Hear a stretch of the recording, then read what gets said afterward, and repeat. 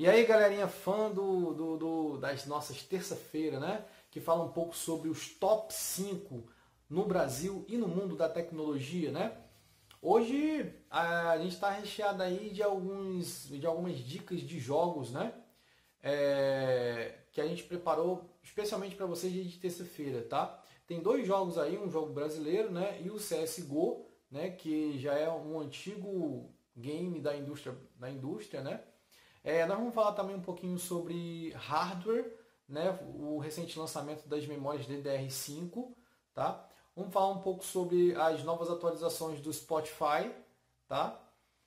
E a gente é, pede para que antes de, de começar esse vídeo, vocês se inscrevam no canal, compartilhem, ative as notificações, curta e assista o vídeo até o final, tá bom? Qualquer sugestão de vídeo, coloque também aqui nos comentários né, sobre algum assunto que vocês é, queiram que a gente traga para vocês toda terça-feira, tá bom?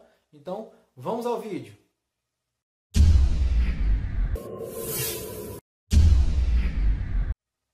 E no top 5 de hoje, né, trazemos um, uma dica de jogo brasileiro, tá? Para Nintendo Switch, né, que é de uma personagem, uma coelhinha chamada Casey.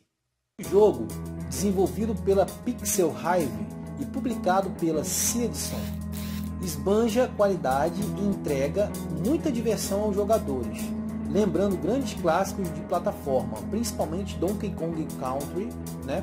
Como característica e elementos já conhecidos nesse gênero e encontradas na inspiração já citada, Case and Wild Mask relembra os bons tempos do passado e entrega uma jornada memorável. As fases ambientadas nas ilhas de Carrotland. O mundo em que se passa o jogo são variadas e desafiadoras, com grande diversidade de inimigos e boas mecânicas, aparecendo no caminho da carismática personagem principal Casey. Após uma maldição transformar verduras em seres com vida, a coelhinha antromórfica deve enfrentar inimigos como cenouras raivosas e outros componentes não menos curiosos e interessantes. A cada nova fase, Casey se vê diante de novos desafios conforme novos inimigos surgem, encaixando-se com a temática de cada mapa.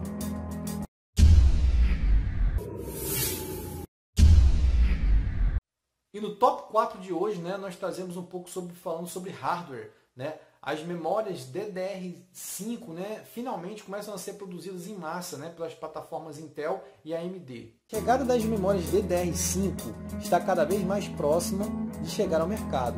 Diversos fabricantes já finalizaram os seus designs para o padrão da próxima geração de memórias.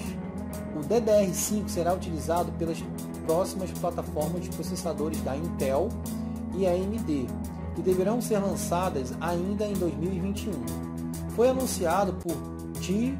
Jin que chegou seu primeiro lote de módulos de memória DDR5 da sua linha de montagem na fábrica de Shenzhen.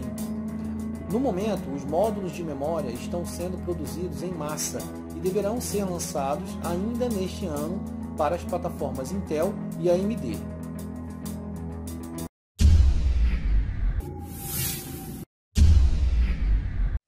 E no top 3 de hoje, né, a gente traz um pouquinho sobre a plataforma Spotify. Ela começa a implementar é, é, podcast pago na sua plataforma.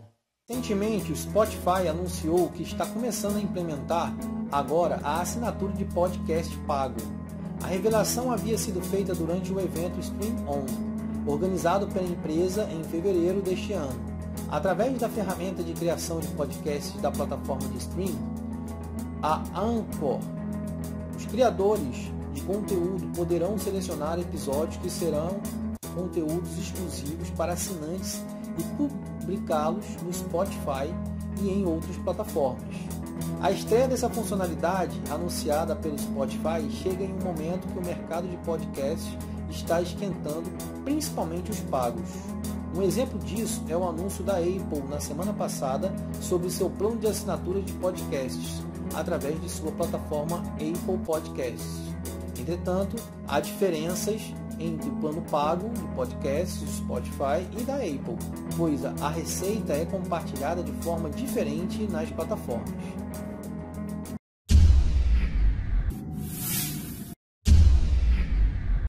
E no top 2 de hoje, né, a gente traz é, um pouquinho do histórico do jogo chamado CSGO, né, que fez muito sucesso na indústria brasileira, né, fez história. Contando com muitos fãs ao redor do mundo, nosso jogo de hoje é o Counter-Strike Go. Hoje, em dia gratuito, o título ainda merece ser conferido por antigos e novos jogadores. O Counter-Strike é um nome de extrema importância na indústria que, inclusive, já recebeu diversos prêmios. O sucesso da Valve marcou a vida de diversos jogadores, sendo historicamente um nome muito forte no cenário competitivo. No dia 21 de agosto de 2012, Counter-Strike Global Offense foi lançado para se tornar um sucesso mundial que permaneceria no topo durante muitos anos. Em seu lançamento, Global Offense chegou com a responsabilidade de continuar um antigo legado, um legado de competição e diversão. Com os cenários já conhecidos, a Valve optou pelo caminho mais fácil procurou agradar os jogadores entregando algo que já era conhecido, sem fugir muito da zona de conforto. A grande diferença é que o jogo apresentava um visual muito superior ao que todos estavam acostumados, o que fez com que o lançamento não fosse apenas um mais do mesmo. Na época em que foi lançado, CSGO certamente apresentava um visual muito interessante e até mesmo inovador, o que empolgava os antigos fãs e chamava a atenção de novos jogadores. Counter-Strike Global Offense também se mostrou melhor que a versão anterior no quesito jogabilidade. Com a movimentação mais leve, os movimentos eram mais fluidos.